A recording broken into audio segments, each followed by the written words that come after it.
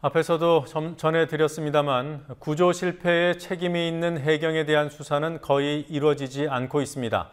몇몇 언론들이 승무원 기소 예정일인 17일 이후 본격적인 수사가 이루어질 것이라는 검찰 관계자의 말을 전했지만 합수부는 이는 추측일 뿐이라며 수사 계획이 아직 없다고 밝혔습니다.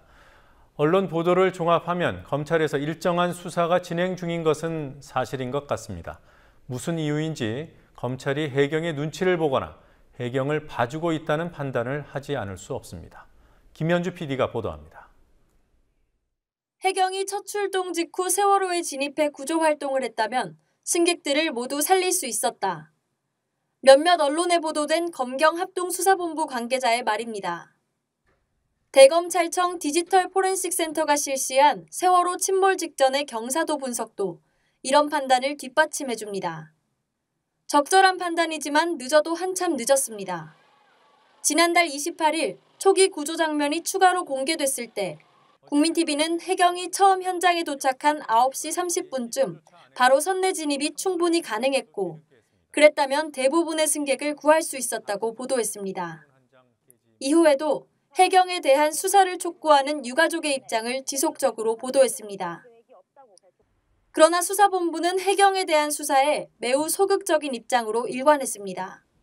뒤늦게나마 수사본부가 해경에 대한 수사에 나설 것이라는 보도가 나왔지만 이 역시 합동수사본부의 공식적인 입장은 아닙니다.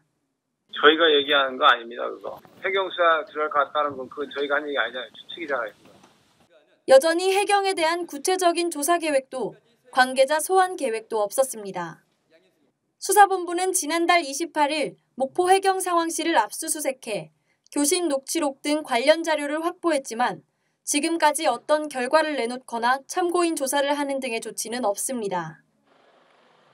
그렇지만 언론에 보도된 대로 세월호의 침몰 당시 경사도 분석은 검찰이 진행한 것이 사실입니다. 해경의 구조 실패 책임을 규명해야 할 필요성을 검찰 내부에서도 인식하고 있지만 해경이 합동수사본부에 속해 있는 만큼 수사를 적극적으로 진행하지 못하는 것이 아니냐는 의심을 할 수밖에 없습니다. 결국 유가족들이 사고 초기부터 요구한 대로 해경을 합동수사본부에서 배제하는 조치가 시급해 보입니다. 해경 내부적으로 입을 맞추고 증거를 은폐할 가능성이 농후하지만 합동수사본부는 여전히 시간만 벌어주고 있습니다. 국민TV 뉴스 김현주입니다.